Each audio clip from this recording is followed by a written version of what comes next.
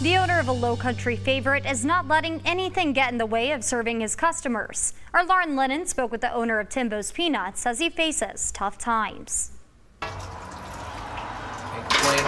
No, you can't complain. If you're on this side of the dirt, That's exactly right. enjoy. Don't complain.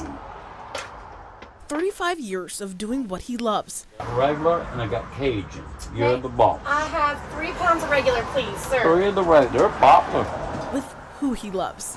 I'd be like a duck with no feathers and it's duck season without my customers.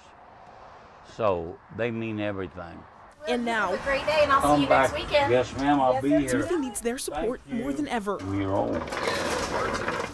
When he's not serving his beloved peanuts, he's getting treatment You're weak when you come out of dialysis.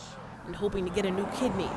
You can't do what you used to be able to do. I used to do a 50 hour week at four days. I do two days a week now. That's all I can do. So now, Timbo's Peanuts is only open Fridays and Sundays, but his limited schedule does not stop customers from stopping by. I got a couple pounds of peanuts. I've been uh, craving them the last couple weeks, and I ran out. And uh, I brought some to work with me the other day, and shared them with everybody else. So come try them; they're great. After three decades, there are still some new faces. This is your first time. How excited are you to try these peanuts? On a scale of 1 to 10, probably a 15, 16.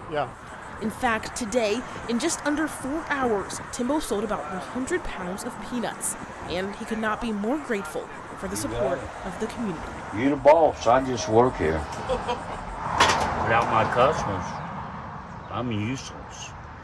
I Working for you. Well, I got regular and Cajun. I'm getting low. Lauren Lennon, News 4.